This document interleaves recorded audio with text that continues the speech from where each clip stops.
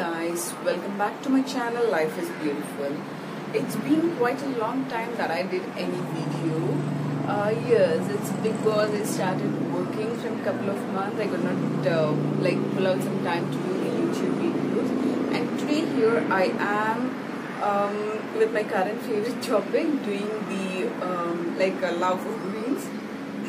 And yes, um, today I'll be demonstrating you like how you can grow a mint at home in a container. Um, to start with here, uh, you just need a couple of things. I'm taking a container. The container should be of uh, depth 4 to 6 inches. That's the minimum uh, depth. Uh, yes, and then you can have it as wide as you want. Um, the bigger you choose, I mean the wider you choose, the more eve you uh, you can just reap it. Uh, yes, but the depth is, yes again the depth, um, keep a point on the depth that it should be around 4 to 6 inch.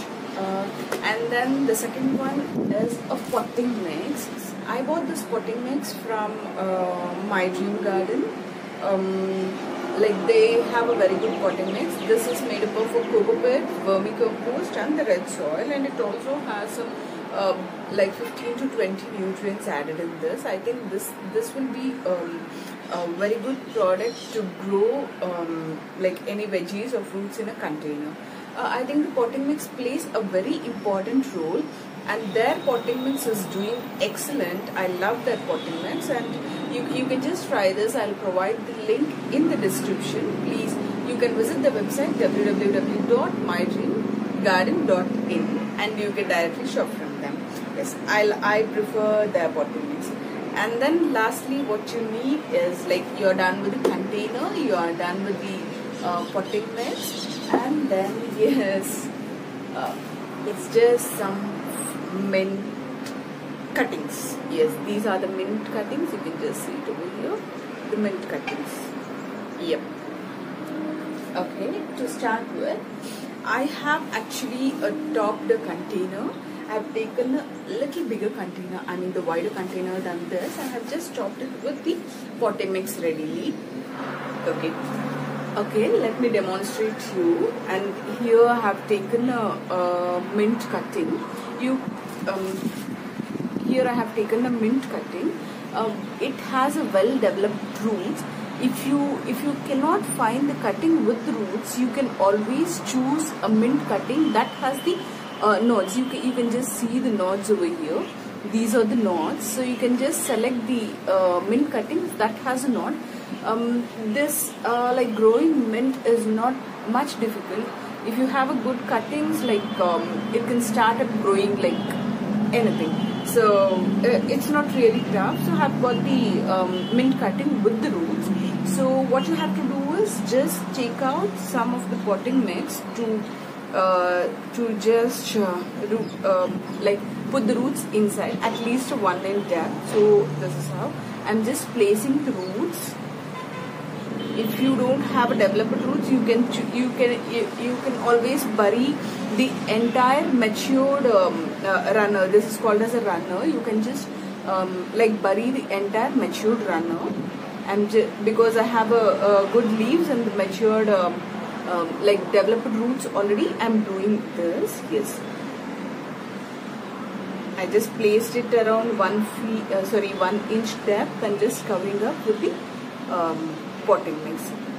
Yes so don't like um, uh, tap it hard let it be uh, soft yes.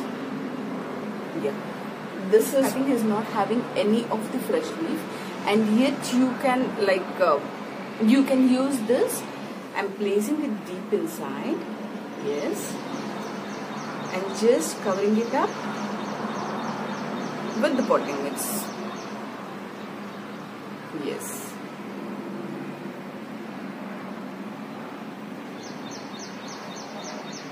That's it. Here you go. Yes. And add some water yes just now you saw the demonstration and this is how you can grow mint at home. It is quite easy but you have to follow few things. Uh, make sure to choose the container that is of um, 4 to 6 6 inch uh, depth. And make sure your um, like the pot or a planter um, gets a minimum sunlight of 4 to 6 hours. If not a direct sunlight it is better grown in a shaded sunlight so the indirect sunlight or the shaded sunlight is also good. Actually it is good like more than a uh, direct sunlight. And um, you have to water it depending upon the uh, climatic conditions. And if it is summer you can you can take a water little more because the, a lot of evaporation. Um, and it is winter and rainy yes you you can just uh, play with um, the watering. And um, yes this is perennial. You can like um, you can harvest this uh, crop throughout the year. You can grow this crop throughout the year so there is no constraint.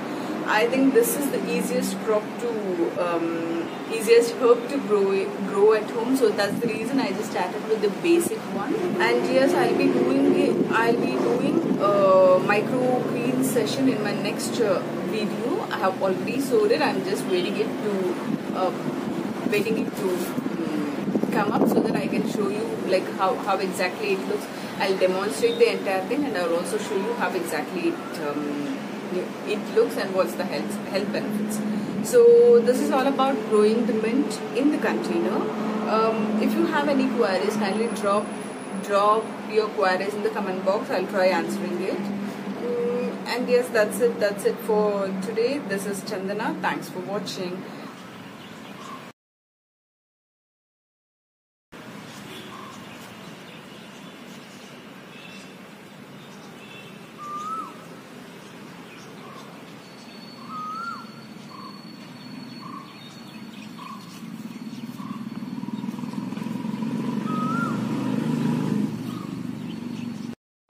Hey guys, please subscribe to my channel. Thanks for watching.